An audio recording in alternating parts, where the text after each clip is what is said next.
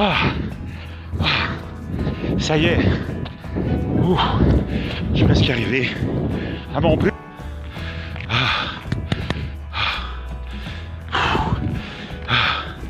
Ça y est. Mission accomplie. Ah. Ah.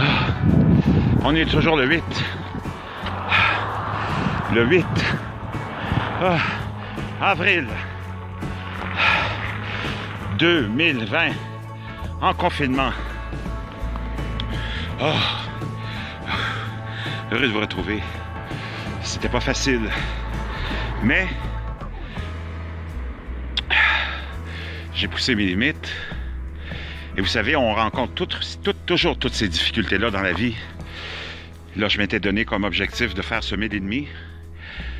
Mais à un certain moment, mon corps voulait plus suivre et voulait essayer de dicter à ma volonté, à mon à ma personnalité, à mon âme, ce que je suis.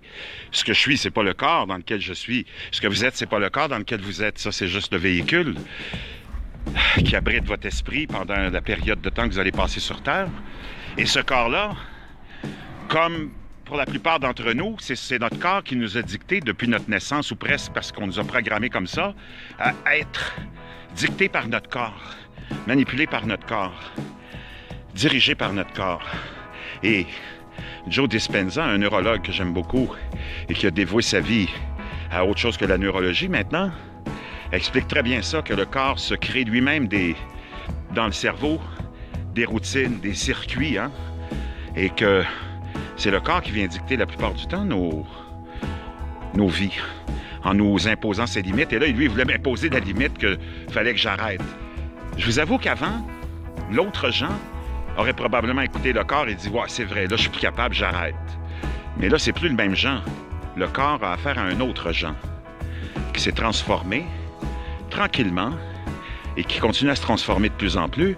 Et le corps m'a pas dicté et m'a pas empêché de réaliser l'objectif que je m'étais fixé et j'ai continué défiant.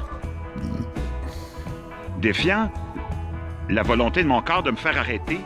Et je vous avoue que je me suis senti vraiment bien et vraiment dans un état de grâce et de joie incroyable quand j'ai réussi à dépasser la volonté de mon corps. Et j'ai continué et je vous avoue qu'après ça, la magie s'est opérée et mon corps n'a pas eu de choix de se soumettre à ma volonté et de continuer. Et c'est devenu plus facile parce que le corps résistait plus à ma volonté. Et c'est ça qui est important de comprendre et c'est ça que je veux que vous compreniez. Le corps voulait m'empêcher, mais après ça, le corps, je l'ai dominé et il a été obligé de soumettre à ma volonté. Et je vous avoue que la fin de la course a été plus facile que celle du début, que la première moitié. Et c'est ça qui est important de comprendre. Retrouvez le contrôle de votre corps parce que c'est votre âme, c'est votre personnalité, appelez ça comme vous voulez, qui a été envoyée ici, dans ce corps-là, pour faire un bout de chemin et vous ne pouvez pas, pouvez vraiment pas gâcher cette opportunité unique que vous avez, parce qu'après ça, il n'y aura peut-être pas une autre opportunité. Puis à l'étape où on sera rendu après, je ne sais pas ce que ça demandera. Donc, tout est possible. Vous pouvez être heureux, prospérer, vous réaliser dans n'importe quel système politique, parce que la politique n'est pas là pour nous libérer et nous aider, mais nous garder prisonniers de ces vieilles perceptions qui fait que c'est notre corps qui nous, qui nous gouverne et non plus notre esprit. Et d'ailleurs, on a vu ce qu'on a fait avec l'espèce de hein, d'adoration du corps. Dans la société moderne, tout est, orienté vers l'adoration du corps. Hein. La beauté, le maquillage, les tatouages, la coiffure, l'entretien de soi.